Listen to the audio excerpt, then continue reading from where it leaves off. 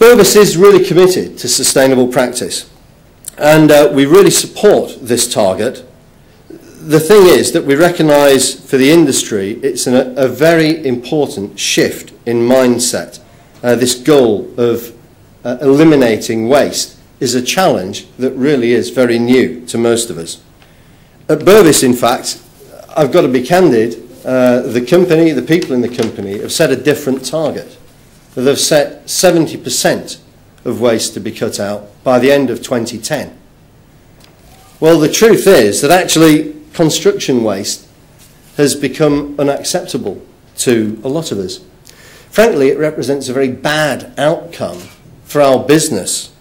Uh, it's symptomatic, more often than not, of poor engineering, of over-ordering, of unnecessary cost, poor storage, poor management, and certainly not least of all, poor design.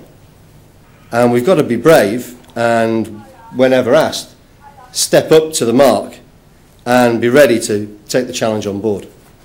So we really fully endorse the WRAP programme that we're seeing launched here today, the targets, the commitments.